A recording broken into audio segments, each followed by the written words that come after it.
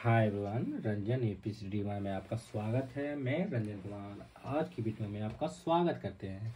दोस्तों, मैं आज लेकर आया हूँ प्रीलिम्स प्रैक्टिस सीरीज़ का, जो उस सेगमेंट को लेकर आया हूँ, जो आपके द्वारा अक्सर पूछा जाता है कि जो मेंस प्रीलिम्स प्रैक्टिस सीरीज़ है, अगर उसको मैं प्रैक्टिस करूँ, किसी अदर स्टेट पीसीएस में काम आएँगे या नहीं आएँगे? दोस्तों, मैं बता दूँ कि इसमें आपको दिए हैं क्या? देख लीजिए, आप खुद पढ़ लीजिए, इसमें क्या दिया हुआ है। विभिन्न परीक्षाएँ जैसे I S P C P S C S C D S N D S C A P F U G C N T N NET से अभी तक पूछे गए या पूछे जा सकने वाले सोलह सौ प्लस प्रश्नों व उनकी व्याख्याओं का संकलन। मतलब क्या? कि मतलब जो यूपीएससी में आज तक पूछा गया है, जो स्टेट पीसीआर से पूछा गया है यूजीसी नेट में पूछा गया है सीटीएस में पूछा गया है, उस सभी क्वेश्चन का इसमें समाहित किया गया हुआ है।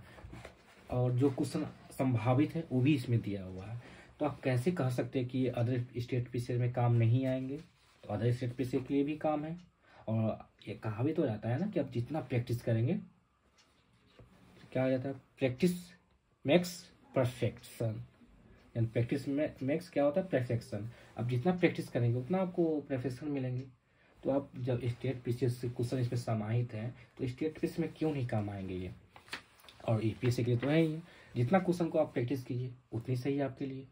तो स्टेट पीसी में काम आएँगे यूपीएस में तो काम आएँगे ही आएँगे। इसलिए आप टेंशन नहीं लीजिए। आप, अगर आपकी ज़रूरत है, मैं तो कहूँगा ये सबके लिए ज़रूरत है जो यू पी या स्टेट पी सी या स्टेट पी का तैयारी करते हैं। प्रैक्टिस के लिए काफ़ी ये फ़ायदेमंद पुस्तक है। उम्मीद है कि आपको ये वीडियो पसंद आई होगी। पसंद आए तो सब्सक्राइब करें लाइक करें तब तक लिए मुझको दी इजाज़त। धन्यवाद।